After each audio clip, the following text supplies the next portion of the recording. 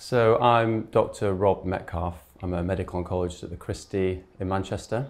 My patient group have recurrent or metastatic head and neck cancer, and I've got a particular focus on patients with a rare subtype uh, of salivary gland cancer called adenoid cystic carcinoma. In my research collaboration with Professor Hussell and Dr. David Morgan, um, we are analysing patient samples to get as detailed a picture as possible of the interactions between the tumour cells and the immune cells in these patients. To do this, I'm sending blood samples and tumour samples to the uh, research lab, and Dr. Morgan and his uh, team are analysing these samples using either 16 marker flow cytometry or 40 marker mass cytometry. For me, the ultimate purpose of uh, this study is to use this information and this new understanding to develop new and better immunotherapies to benefit my patients.